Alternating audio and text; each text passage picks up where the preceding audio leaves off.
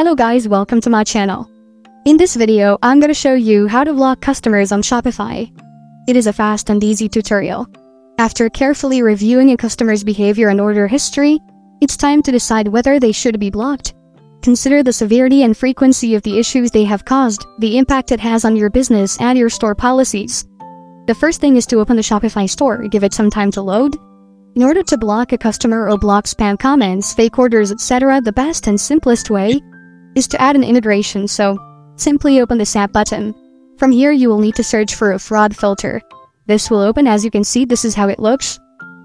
It will open and you just need to click install. Go back to your Shopify, open the settings, then look for apps and sales channels, and here you will have your fraud filter.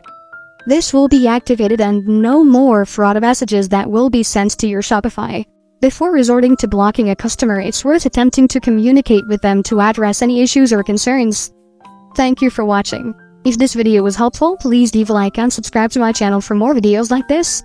And click on that notification bell to never miss an update.